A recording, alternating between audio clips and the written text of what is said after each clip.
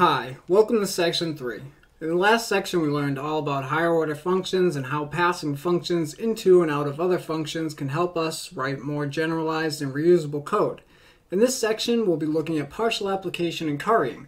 Our higher order functions will get a lot easier to write and a lot more powerful after we learn to take control of function application. These can be tough concepts to take in at first, but when that aha moment comes, you'll have an entirely new outlook on working with JavaScript. You should feel a bit like Alice, putting your arms through the looking glass and realizing there's another side to this world of programming. A different world, strange and beautiful. Over the course of videos in this section, you'll learn what partial application and currying are, and the first step is the biggest. It's here that we examine function application and why we'd want to take control of it. The higher order functions we wrote in section 2 are too demanding. We'll use our newfound knowledge to take higher order functions to an even higher level with partial application. They will become simpler to write, easier, and more flexible to use. And then we'll write our own implementation of the curry function, so when we're coding in our own programs, we don't have to rely on rewriting detailed curry logic into every function or having to rely on the library.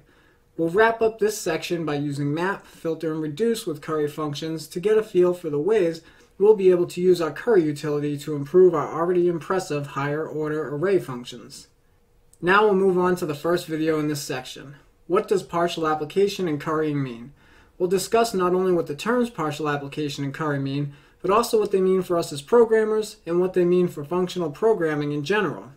In this video, we'll look at arity, which is basically just the number of parameters a function has, its defined arguments. What happens when we call a function? It sounds silly, we know that the function runs, but is this always what we want? Why does a function run, even if it doesn't have all of its arguments? When a function is ran, it's a total application of the function to its inputs. We'll look at partial application and why it's different.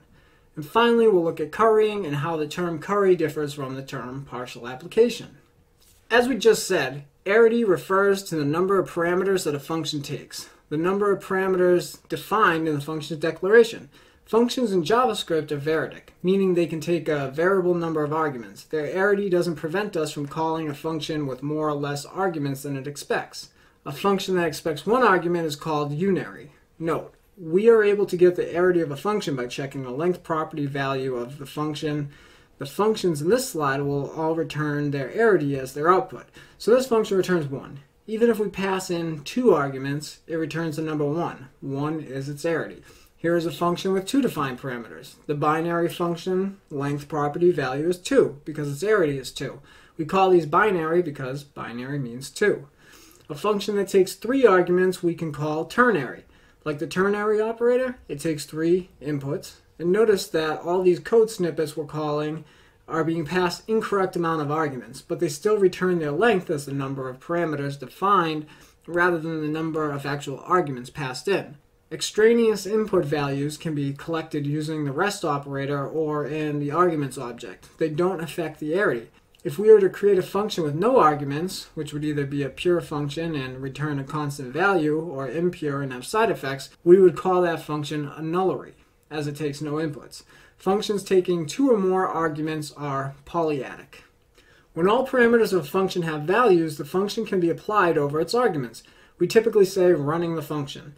In math and functional programming, we could call this a total application of the function to its terms.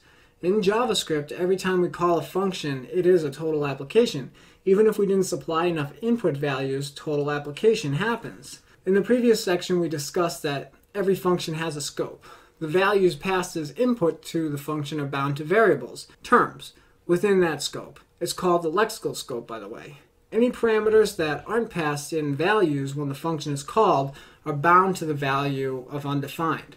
There are situations where this behavior is desirable, such as in the examples from the previous section where we set default parameter values, but in general, running any operation with undefined bound to a value is going to give undesired results.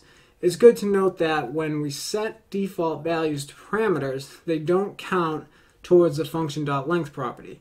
In JavaScript, the function above looks like it is ternary, taking three inputs, but it's binary according to its length property. So the point to take away is when we call this with 0, 1, 2, or even 200 arguments, it is totally applied in JavaScript. The entire function runs. Partial application, on the other hand, would be more intelligent. If a function has an arity of 3 and we call it with two arguments, two inputs, the function could bind those two input values to the appropriate values within that function's scope. But it need not run the function yet it could defer execution and wait until we pass the final argument in. So in partial application, a function that didn't have all its parameters bound would return a new function with a lower arity. So it takes less arguments because some are already partially applied. In this example, which won't work with regular JavaScript by the way, the function partial app doesn't run or totally apply until all its arguments are present. When it is called for the first time with the value 100, that argument is bound to a1 and it returns a new function that doesn't take an a1 argument as it already has a value bound at a1, the value 100. The new function only expects two more arguments before it can run. So we could call that new function with another argument and it would bind that value to a2. Part 1 is a binary function. It only takes two arguments, but we gave it 1 so we get back a unary function, part 2. It only takes one argument which we then call with the value 30. The input value 30 is bound to a3, and the function called part 2.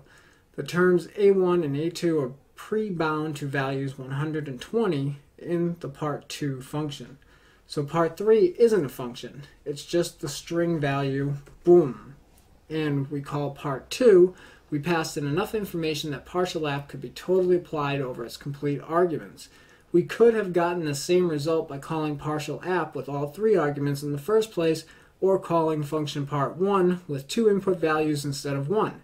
We only get back functions when we don't give all the arguments. It's like when you're at a fancy ice cream shop. Sometimes they give you ice cream with syrup and strawberries already on top, but if they only gave you ice cream at first, no syrup or strawberries, you'd wait until you got your toppings before eating, running the function. And we've seen this sort of logic done ad hoc already when we wrote our own map, filter, and reduce functions in the previous section. So now I'm afraid I need to blow your mind a bit.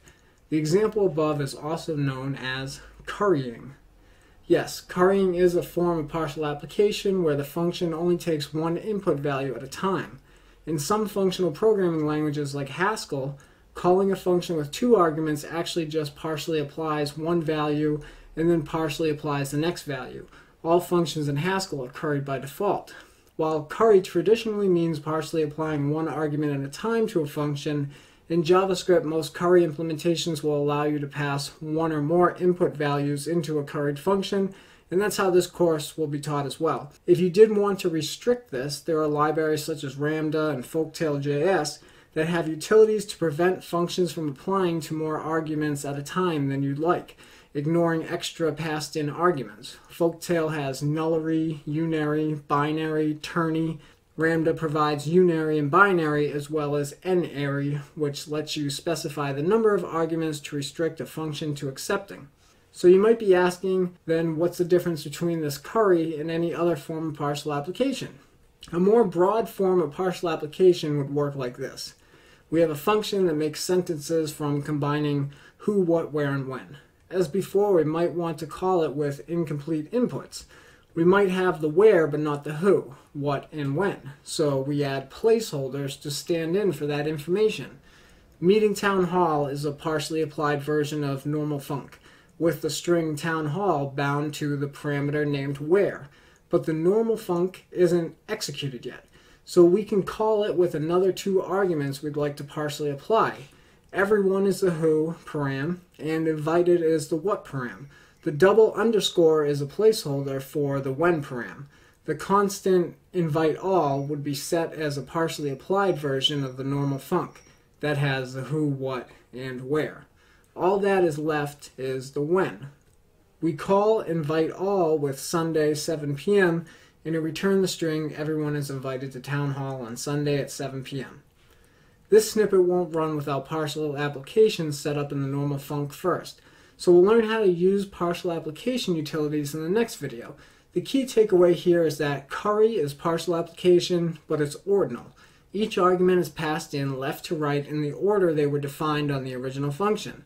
Partial application in the broader sense of the term could bind a value to any argument regardless if there are arguments to the left of it or if they've yet to be assigned to bound values.